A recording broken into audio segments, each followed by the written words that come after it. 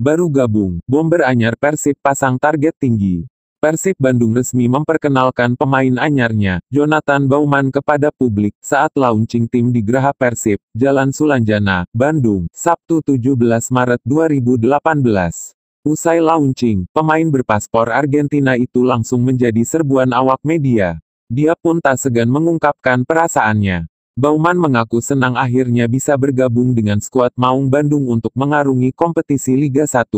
Saya senang sekali gabung Persib dan sekarang saya sudah mulai bekerja di sini, kata Bauman. Bersama Persib, mantan pemain AOX kira ini bakal diplot sebagai penyerang.